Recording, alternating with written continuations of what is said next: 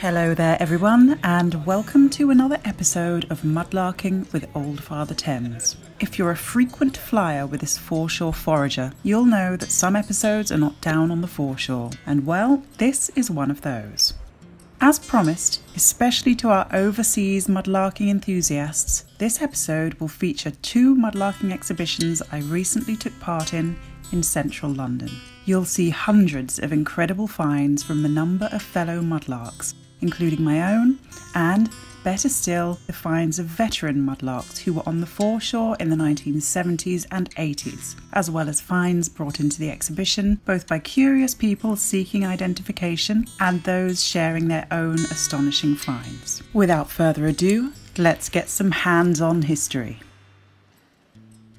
Hands on History and Mudlarking at Cutler's Hall are two events that took place last week during the month long Totally Thames Festival 2021. The exhibitions were organised and funded by the most excellent Thames Museum. Over three days, a revolving door of 10 mudlarks per day made the crypt of St Paul's Cathedral their home to show their finds and engage with visitors. Here are some of those finds from day one of the exhibition at St Paul's. First up is a selection from the collection of Nick Stevens, co founder of the Thames Museum and a member of the Society of Thames Mudlarks. You might recognise Nick from the Discovery Channel series Mudmen alongside Steve Brooker, also known as Mudgod. Nick is one of my favourite mudlarking friends and has an astounding collection that he's amassed over the years. One of my favourite finds of Nick's is this incredible spur, it's a direct link to the horrible practice of cockfighting, which was common entertainment in London from the Tudor period onwards. It's said that while cockfighting was bloody and gruesome, one of its merits as a sport was the invention of its complicated and precise rules, which have been credited as an early influencer of hard set rules in other sports. Cockfights took place in a cockpit, a rowdy, boisterous place where classes of all kinds mingled. Most cities had a cockpit, and in London there were at least seven. Cockfighting was eventually banned across England and Wales in 1835 and Scotland later in the 1890s. Now let's check out some of these padlocks found by Nick. Aren't they wonderful examples? Onto pipes again, some lovely pieces here, and straight into Nick's collection of decorated book clasps. Brass plaques with a couple of real whoppers in there.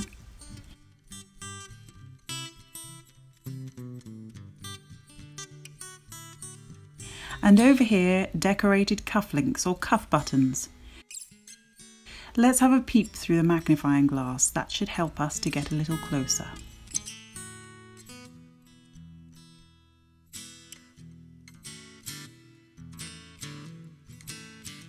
These photos here were taken a couple of years ago before our Foragers of the Foreshore exhibition by photographer Hannah Smiles. The portraits here feature Mackie, Monica, Murph, and Stephanie Mills, all mudlarks with years of experience. Hannah also photographed some of our finds as still life.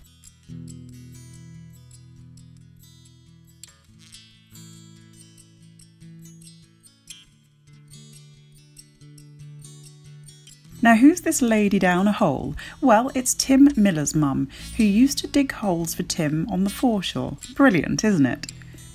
Here are some of Tim's finds, and Tim is a Society of Mudlarks member and a long-time mudlark, and he was exhibiting alongside his mother at St Paul's.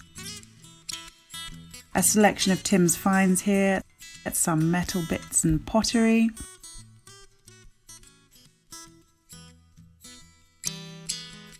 Okay, so here's yours truly, photographed by Hannah Smiles, and here are the selected finds I exhibited at St Paul's Cathedral. You might recognise some of these finds from previous videos ceramic, bone, metal items. I took quite a lot with me to exhibit, as you can see. It's important to me to let visitors pick finds up and handle them so they can really experience them, and that's why most finds are out on the table there. Over the weekend, people brought in their own finds, sometimes for identifications and others just for a show and tell. And fellow mudlark Caroline Nunnally popped in with a selection of her Thames found pilgrim badges. she kindly let me film them to share with you guys. So let's have a look at these. First up is the Thomas Becket Pilgrim Badge fragment. This lead alloy mould cast badge has a late medieval date and depicts Becket returning from exile. This fragment shows part of Becket upon his horse and would have looked like this one on the screen now. The very best thing about this badge fragment is that the owner has left their own marks on it in the form of two incised stars and a capital letter A.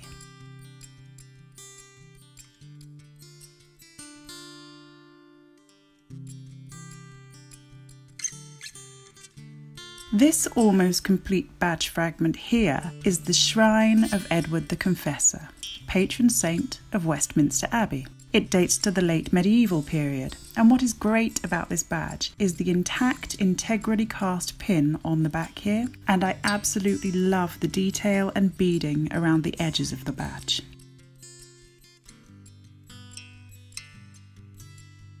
You might recognise this badge fragment from an intact version I featured in an earlier video. It's part of a rood cross, the base of it. And you can see here little details of people praying, one on the right there and a headless one on the left.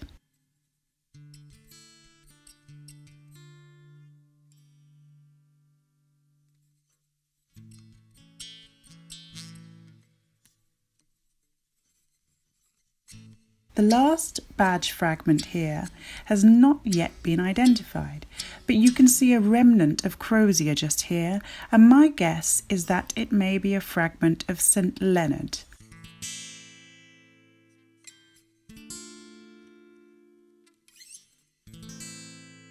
Let's take a look at the combined finds of Stephanie and John Mills and Rae Love, all long-time mudlarks and members of the Thames Society of Mudlarks. With such a plethora of finds, I'm going to do the best I can to show you as much as I can, but I'll let the finds themselves do the talking.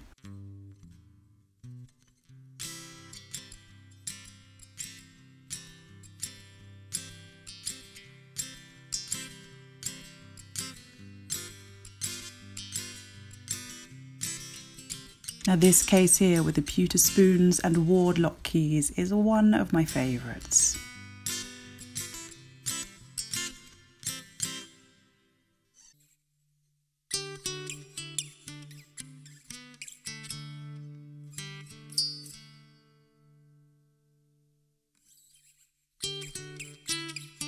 right next to another of my favourites, featuring military items such as chainmail.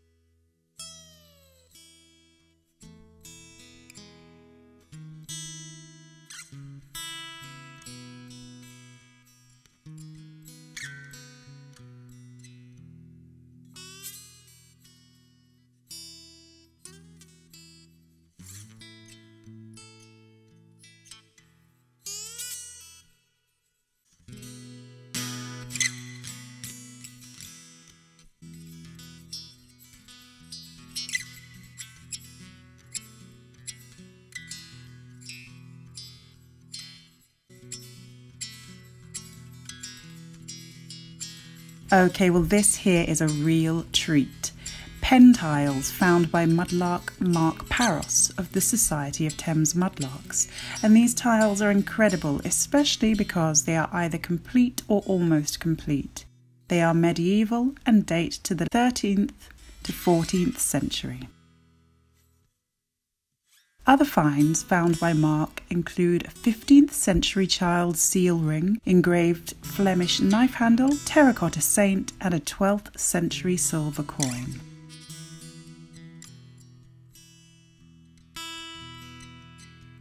Now, a really strange thing happened while exhibiting at St Paul's. Three separate people came in individually with identical items to identify, and I had one of those items too. I have never identified it myself, so I couldn't tell them exactly what their finds were, as the very same object has been puzzling me for years. I felt it was about time to put this mystery to bed once and for all, and set about obtaining a solid ID for the find. But did I get one? The general consensus about this mystery item is that it may be part of a bone lace bobbin, so it was time to bring in the big guns. Who else but specialist historians in bobbins, Diana Smith, said to have the largest collection of lace bobbins in the UK, and the very lively and entertaining Brian Lemin, author of the Bobbin Dictionary, along with Diana and John Cropper. Our story is a short one, alas, as, despite some vague similarities to a continental Cottier bobbin, both Brian and Diana do not think these mysterious bone finds are bobbins at all. So the mystery remains unsolved. Potential suggestions for these strange identical finds are yarn winding implements, medical instrument parts, one being a smoke enema, and possibly something relating to handmade Napoleonic prisoner of war curiosities. I will keep on my hunt for the answer and update you all as soon as I have it, if I ever have it. Here we go, something for the metal lovers amongst you the extremely well labelled collection of Kevin James Dyer.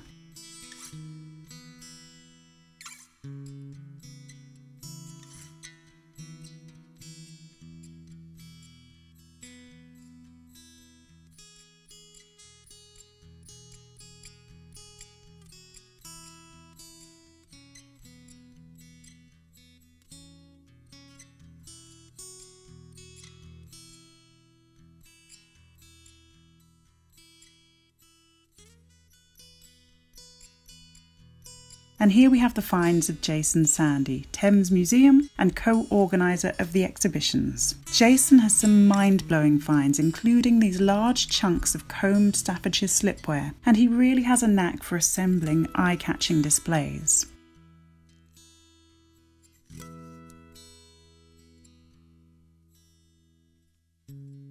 Of my favourite Jason finds are this torpedo bottle here and this fragment of green glazed stove tile.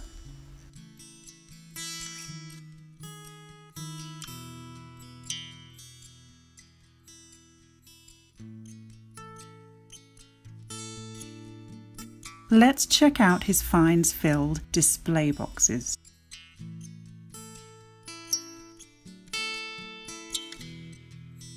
Toys over here, from frozen charlottes or pudding dolls to hollow cast lead figures. And off we go to the dynamic duo of mudlarking, Phil and Judy Hazel, whose finds are plentiful and often get my pulse racing.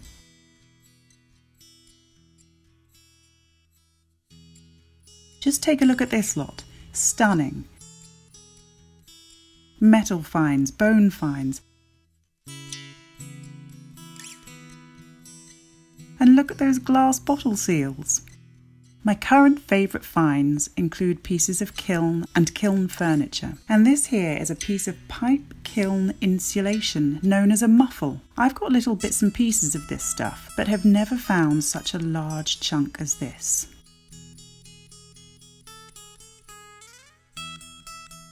And over now to Ed Bucknell's finds. I like to call Ed the Roman guy. He has so many wonderful Roman finds, including an almost complete Roman pot, which you will see later when I do the Cutlers Hall coverage. Ed is a gifted artist and has completed the missing parts of these dogs here. Look closely. Can you see the pottery fragment of their heads and torso? I say he's the Roman guy, but check out his collection of salt glazed wares. Wow, tens of Bartman necks, intricate cartouches, and even some of the rarer blue splashed Bartman pieces here.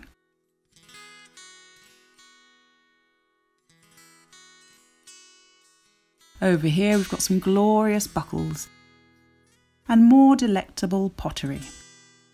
But the award for chunkiest find of the exhibition goes to this huge lump of pudding stone, lovingly carted over to the show. What a guy! particularly close to my heart because of family ties to Hertfordshire. I was super happy to see this Roman pudding stone quernstone. In Ed's words, this is upper stone from a Roman rotary quern made from the unusual pudding stone, which would have been used for grinding grain. This is a rare stone type, also known as fossil beach shingle, and is confined to small outcrops in and around Hertfordshire. Puddingstone rock was formed approximately 50 million years ago, and puddingstone querns seem to have been made only for a short while at the end of the Iron Age and after the Roman invasion. Ah, here we go. Unable to be here in person, she is here in screen and spirit, our lovely goddess of the foreshore, Nicola White, aka Tideline Art. We had Sai on this video screen too, so fear not, mud lovers, your boy got a look in. Alright, here's some of Ed's work. I'll share his links in the video description, so check that out. Let's leave St Paul's Cathedral now and head over to the home of the Worshipful Company of Cutlers Cutlers Hall. Okay, so a quick slice of info about the Cutlers Company, lifted from their website. The Cutlers Company is one of the most ancient of the City of London livery companies and received its first royal charter from Henry V in 1416. Its origins are to be found among the cutlers working in the medieval City of London in the vicinity of Cheapside. As was the case with other trade guilds of the day, its function was to protect the interest of its members, to attend to their welfare, and to ensure that high standards of quality were maintained. Their business was producing and trading in knives, swords, and other implements with a cutting edge. Over time, the emphasis shifted from implements of war to cutlery and other domestic wares such as razors and scissors. Among the company's collections can be found examples of the whole gamut of the cutler's craft, including swords, cutlery, scissors, and surgical instruments. The collection of cutlery ranges from Stone Age tools to the cutlery of today, from the cheapest of mass produced knives to exquisite items of gold and ivory encrusted with jewels. It is particularly rich in fine continental cutlery of the 17th and 18th centuries. Examples of the craftsmanship of former members of the company, including Ephraim Howe, Peter Spitzer, William Pepys, and John Grier are contained within the collection of London made cutlery. If you would like to delve even deeper into the history of the company of cutlers, please follow the links in the video description. Now, in this exhibition, I am exhibiting alongside Mudlarks Jason Sandy, Monica Butling Smith, Ed Bucknell, Lucian, and veteran Mudlarks Graham de Hume and Simon Moore, who is also a cutlery expert and legendary advisor and conservator of natural sciences. In addition to our finds, the cutlers were displaying their own collections, including a seriously huge amount of silverware which is only seen on rare occasion, and recently acquired knife collection generously donated by Graham de Hume. Let's take a walk through and Thanks to Jason Sandy for this footage, which he's let me use. Now let's take a closer look at some of the exhibitor's finds. First up, we have Graham de Hume, who was most actively mudlarking in the 70s and 80s. Graham's collection is exquisite.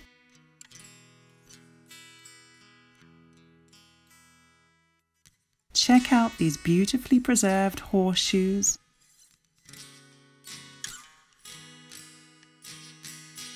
And this complete, yes, complete salt glazed Bartman jug.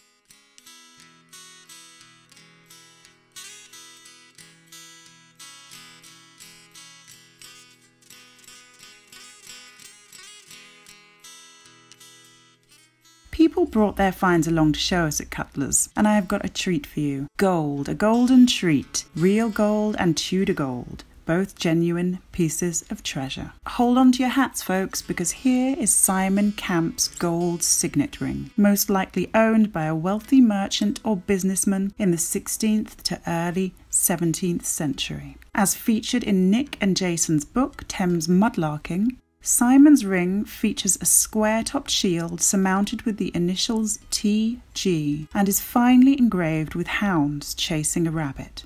Now imagine finding this. Simon's luck must have been in that week because, along with his gorgeous ring, he also found the next item around the same time. It's a particularly fine piece of Tudor gold, a 16th century button, perhaps used to ornament a hat or sleeves. I can't tell you how wonderful it was to handle this find and how it immediately transported me to 16th century London. Check out the fine work and how intact it is, and look here the circular shank, although bent back against the button, is still attached. It's just incredible if you think about how long this is spent tumbling around in the river, in the mud. It's fantastic. At the other end of the metal spectrum, but just as juicy for me, is this cast iron fishing hook with what I think would be classed as a lure, a life sized fish, attached to the middle of the hook. Now, I adore fish hooks and would be so excited to find one like this. It belongs to mudlarker Nicole, aka Larker Lulu, who described the finding of this item as thus She was pulling it up from the mud and just kept on coming, and then suddenly this gorgeous fish popped out, attached to it. What fun! Let's have another look at Ed Bucknell's Roman finds including the cheese press and that almost complete Roman pot. And here also this almost complete onion bottle. On to Simon Moore now, and his knife collection is something I am so excited by. Particularly this inscribed Tudor knife and the carved bone handle knives And this, a tricksy puzzle knife. That's a secret knife or puzzle knife. That's fantastic. So did that operate the mechanism to... That locks it. That, that goes down inside the handle. Yep. Like that. And it goes through two little eyelets inside. Yep. And does that bit complete the missing gap there It when it's in? When it's in. And that little rivet next to it is Yeah. eccentric. It's a false rivet, so it spins around on, the, on, on its side slightly. How So it, you, so you can pull it away from the from where the pin comes out. Oh, I see. And it's got this hand, the hand It's got a hand and a dagger on it, yes, which points to the, to the, do, the dodgy rivet, so, so, So it gives you a clue how to open it. That's incredible. And also a gravity knife whose function Simon was more than happy to demonstrate. Out of a piece of bone with someone's initials on it. Yeah. Sorry, there we go. Uh, and again, you open it up. Got a little recess there, and you hold it like that. Oh, to make, okay. And then when you put it back, it slips in, and the blade, the handle clasps it shut, so it doesn't open in your pocket. Simon has written a number of books about cutlery, from the very affordable to the more expensive, but there's something for everyone, so check out the links to his books in my video description. Lucian's finds now. Look at these strange objects. Nature embedding and building, wrapping round. Here's an echinoid fossil in flint and a mother of pearl, nacre, straight into a genuine, one of a kind piece of trench art. Look at this little whistle here made from a bullet shell and some carved items back there. So we're over into the realm of Monica now, and she is always incredibly creative with her displays. They are fabulous. In the weaponry department, we've got this fearsome machete from the 1800s, and above, a 1700s dragoon carbine socket bayonet. And here we go. This is what I mean about Monica's displays. Check out these boat hooks, the boat fender, and other hardware. Beautiful stuff. And a personal favourite of mine here, let's shine a light on the subject uranium glass. Ever heard the saying, one night with Venus, a lifetime with Mercury? Well, very apt to this find an 18th century syphilis syringe.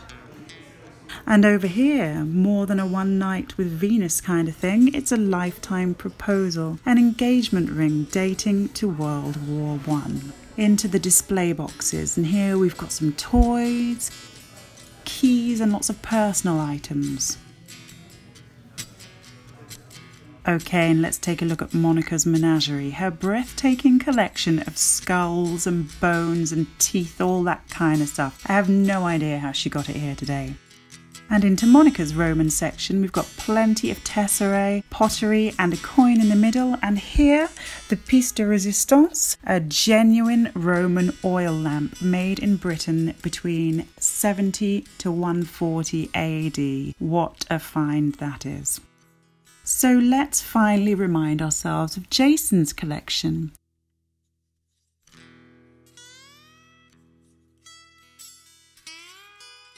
We've got more oil lamps here, but these are actually Hindu offerings. And to round up the day, here are some of Jason's photographs of the stunning Cutlers Hall and their collection a huge thanks to them for having us. It really was an absolute privilege to be able to exhibit there.